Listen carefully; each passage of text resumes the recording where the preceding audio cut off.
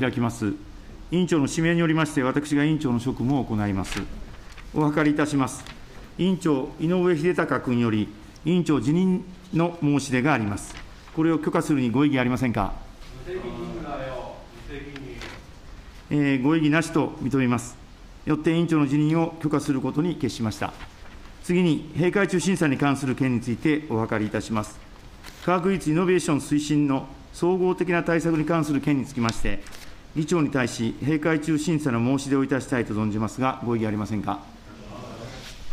ご異議なしと認めます。よってそのように決しました。次に、閉会中審査案件が不択になりました場合の諸件についてお諮りいたします。まず、閉会中、委員派遣を行う必要が生じました場合には、議長に対し、委員派遣承認申請を行うこととし、派遣の目的、派遣委員、派遣期間、派遣地等、所要の手続きにつきましては、委員長にご一任願いたいと存じますが、ご異議ありませんか？ご異議なしと認めます。よってそのように決しました。次に、閉会中審査におきまして、参考人より意見を聴取する必要が生じました場合には、その出席を求めることとし、日時、人選等につきましては、委員長にご一任願いたいと存じますが、ご異議ありませんか？ご異議なしと認めます。よってそのように決しました。本日はこれにて参加いたします。